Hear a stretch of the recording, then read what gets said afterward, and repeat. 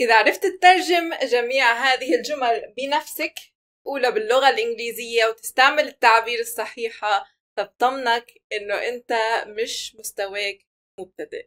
وإذا ما بتعرف خلينا نتعلمهم لأنهم تعابير جد مهمين وبنستعملهم كتير بمحادثاتنا اليومية. بتسمعوهم بالإنجليزية المتداولة بتسمعوهم على التلفاز بتسمعوا الناس عم يتحدثوهم لكن ممكن ما تلاقوهم بالكتب. فيلا خلينا نبدأ. Let's get started. طب كيف نقول هو شايف نفسه؟ هو شايف حاله باللغة الإنجليزية. كان هذا التعبير. إذا سنبدأ هي is. وممكن تبدلهم تبدل الضمير وعلى أساسها تبدل تصريف فعل be. يعني he is I am you are she is it is we are they are. طيب التعبير اللي بدي اياك تتعلمه هو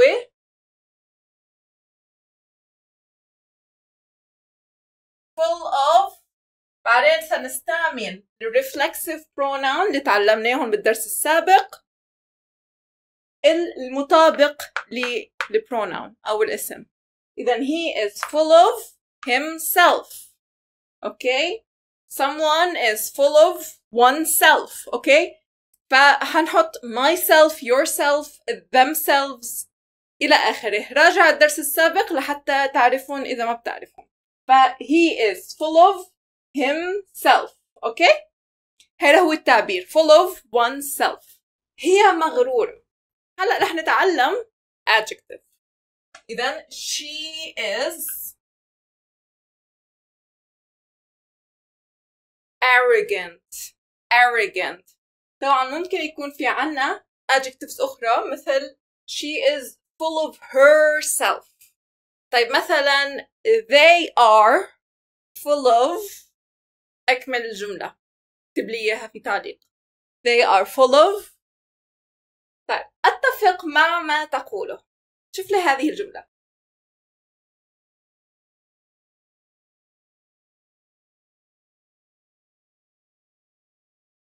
I am agreeing to you. هذه الجملة صحيحة؟ كلا هذه الجملة خطأ وهو خطأ شائع وللصراحة في خطأين. إذا أولا agree ما حنقول agreeing سنستعمله بصيغة ال present simple. دائما رح نقول I agree. ما بنقول I am agreeing. ما بنستعمله كتير بال present continuous. أو بال continuous tenses. إذا I agree. هنا لما تقول إنه تتفق مع شخص آخر هتقول with with you. I agree with you. هنا المعنى لكن أتفق معك. I agree with you. طيب جملتنا هي أتفق مع ما تقوله.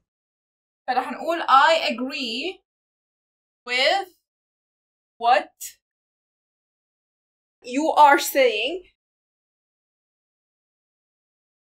I agree with what you are saying إذا بدي أقول أتفق مع ما قلته بالماضي I agree أتفق الآن with what you said okay مع ما تقوله الآن you are saying مع ما قلته what, with what you said إذا I agree with what you are saying طيب شفت هذه الجملة الجميلة يمكنك الاعتماد عليه هكتب لك جملة؟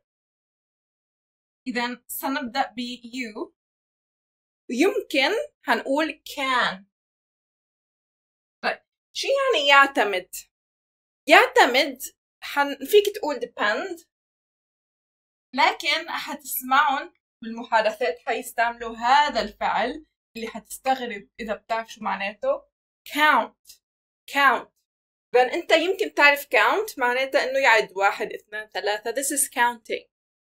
لكن هنا count ستأتي بمعنى الاعتماد على شخص ما. You can count ودايما حنقول on. ثم me. You can count on me. You can count on me. إذا depend هنا الاعتماد لكن مش إنه بشكل ثقة إنه تعتمد على شخص ما لكن مثلا تعتمد ماديا تعتمد بشكل يعني مش معنوي. هنا you can count on me يمكنك الاعتماد علي بشكل معنوي أنا رح ساعدك هذا هو المعنى أوكي أشاهد التلفاز من وقت إلى آخر. إذا عنا I تعرفها تعرف تقول أشاهد التلفاز. كيف بنقولها I watch TV أو television. طيب كيف بقول من وقت لآخر؟ أو من حين لآخر فينا نقول from time to time صح فينا نستعمل أيضا تعبير آخر هو every now and then every now and then يعني من وقت لآخر من حين لآخر أو from time to time اللي بدك إياه I watch TV from time to time I watch TV every now and then طيب كيف بقول هونها باللغة الإنجليزية؟ يعني ما تعتل هم هونها ما بدك كل القصة هالقد. حنستعمل.